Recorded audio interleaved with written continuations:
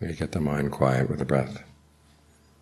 It's a good state of mind to ask yourself some important questions. You can ask yourself, what are you born for?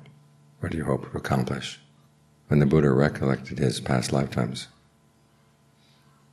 it was a pretty dreary affair.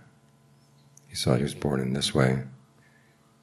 He ate this kind of food, he had this kind of pleasure, this kind of pain, then he died. He born again. Food, pleasure, pain, death, over and over and over again.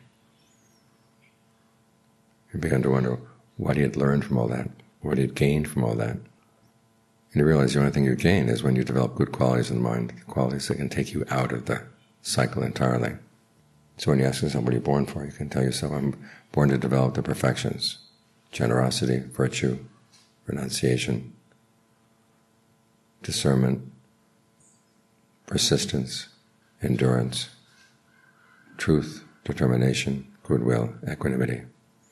These are the qualities that the Buddha had to develop in order to become Buddha.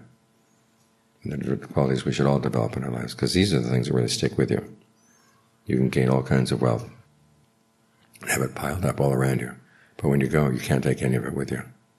But you too take with you the qualities in your mind, the qualities in your heart.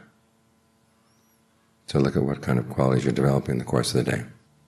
Even in your situation where you don't like it, like the days when it's hot like this, where you're developing the quality of endurance. You're developing the quality of determination, equanimity, not letting the mind get disturbed by events.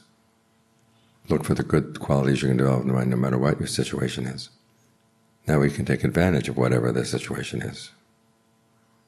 You don't sit around waiting, well, someday I hope to have things like this and things like that. You take what you've got and you make the best of it.